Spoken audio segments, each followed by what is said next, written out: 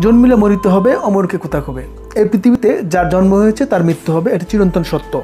ধনী গরিব কেউই এই নিয়মে বেড়ে যেতে পারে না। কার মৃত্যু কোথায় হবে, কীভাবে হবে, কেউই জানে না। তবে মৃত্যু হবে, এটি সবাই বিশ্বাস করে। প্রতিটি মানুষই এক নির্দিষ্ট সময়, এক নির্দিষ্ট জায়গায় মৃত্যুবরণ করে। কিন্তু আপনি জানলে অবাক হবেন, এমন কিছু শহরের গল্প যেখানে মারা যাওয়া একেবারে নিষেধ। শুধু তাই নয়, দেশটিতে আইন করে মৃত্যুর উপর নিষেধাজ্ঞা জারি করা হয়েছে। হ্যাঁ প্রিয় দর্শক, আজ জানাব এমনই কিছু অদ্ভুত শহরের গল্প। তার আগে প্রিয় দর্শক, আপনি আমাদের চ্যানেলে নতুন হয়ে থাকলে আমাদের চ্যানেলটি সাবস্ক্রাইব করে পাশে থাকার অনুরোধ। চলুন শুরু করা যাক আমাদের ফ্যামিলি টিভি আরেকটি নতুন এপিসোড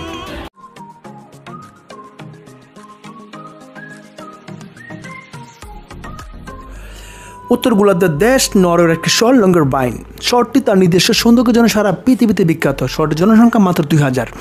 স্যার, বাল্ট আইসল্যান্ডের এটি একমাত্র দেশ যেখানে অধিক পরিমাণে ঠান্ডা থাকা সত্ত্বেও মানুষ বসবাস করে। পুরো লঙ্গর বাইন শহরটি বরফে আচ্ছাদিত, তাই পরিবহনের জন্য এখন শুধুমাত্র স্নো স্কুটার ব্যবহার করা হয়। এখানে মাইনাস টেম্পারেচার জীবনযাপন করা খুবই ভয়াবহ অবস্থা।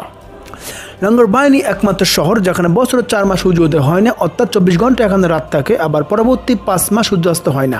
দিন হোক বা রাত হোক সারাক্ষণই আকাশে জলমল করে ওঠে সূর্য। সবচেয়ে আশ্চর্য ব্যাপার হলো, এখানে মানুষের মৃত্যুবরণ করাও আইনত নিষিদ্ধ। এই শহরে একটি ছোট্ট কবরস্থান আছে, যেখানে বিগত সত্তর বছর ধরে কাউকে কবর দেওয়া হয়নি। অত্যধিক ঠান্ডা এবং বরফের মধ্যে থাকার ফলে এখানে মৃতদেহগুলো সহজে নষ্ট হয় না এবং তা মাটির সঙ্গে মিশেও যায় না। কয়েক বছর আগে বিজ্ঞানীরা এই কবরস্থান থেকে মৃতদেহের কিছু নমুনা সংগ্রহ করেছিলেন এবং সেই নমুনা পরীক্ষা করার পরে বিজ্ঞানীরা জানান যে মৃতদেহগুলোতে আজও ইনফ্লুয়েঞ্জা ভাইরাস বর্তমান।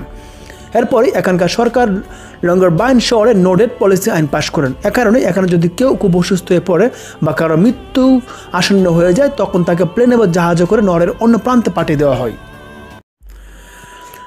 সাও পাউলু বাদিলে সাও পাউলুর একটি শহরের মেয়র দু হাজার পাঁচ সালে একটি আইন পাশ করেছিলেন, যেখানে বলা হয়েছিল শহরের বাসিন্দাদের যখন তখন মরতে মানা।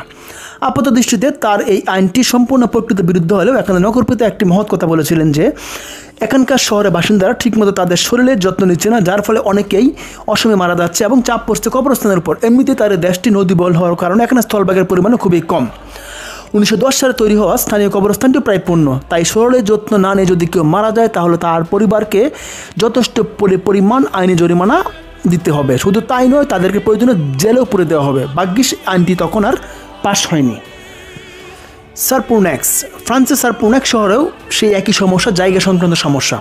কবরস্থানের জায়গা বাড়ানোর পরিকল্পনা কোর্টে পাশ হয়নি। মেয়র চোটে গিয়ে একটি আইন করেছিলেন যে এখানে মারা যাওয়া সম্পূর্ণভাবে নিষেধ। আর কেউ মরে মরে যাওয়ার চেষ্টা করলেও তার উপর নেমে আসবে ভয়াবহ অত্যাচার এবং তাদের কপালে জুটবে কটুর সাজা।